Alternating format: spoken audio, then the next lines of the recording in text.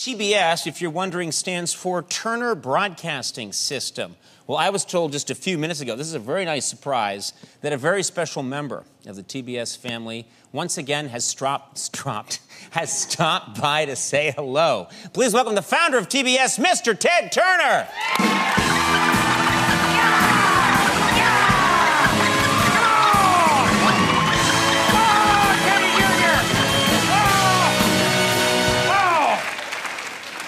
Mr. Turner, as always, we are so honored to have you here.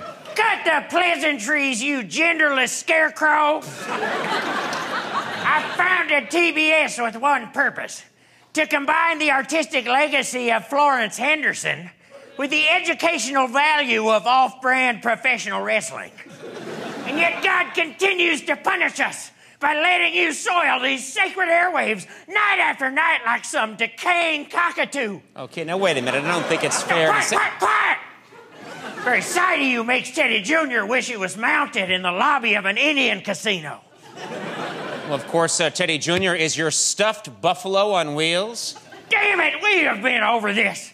Teddy Jr. is an American hero and one of Wyoming's finest state senators.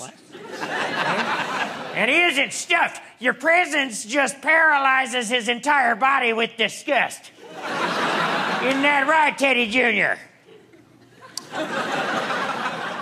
You know, I don't think I'm imagining things. I think Teddy Jr. looks bigger this time around. Well, that's correct. Teddy Jr.'s been hitting the gym and bulking up a little.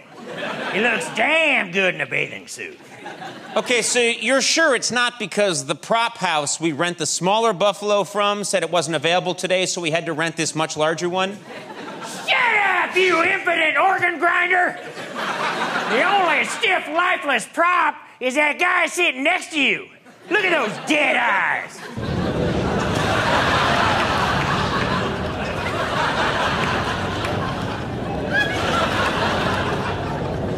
All right, that's enough. Break it up, you two. Break it up.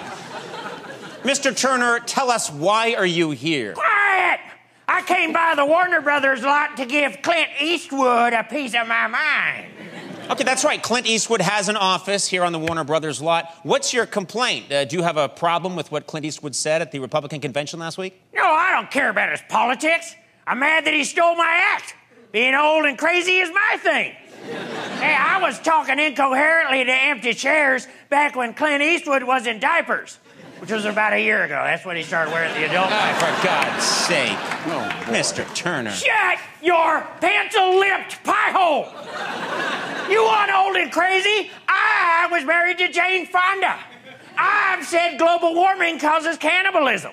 And I still have an AOL email address. You people hear me? An AOL email address.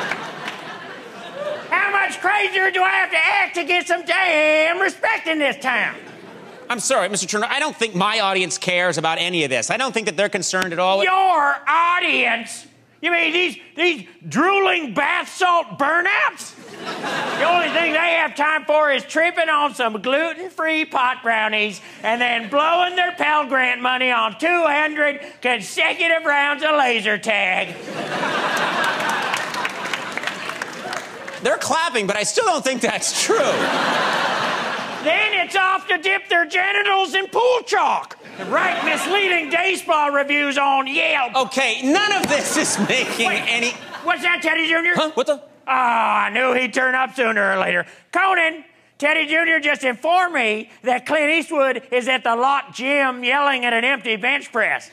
I better get over there and spot him. As for you people, oh Oh, God, let me put this in terms you young hippies can understand.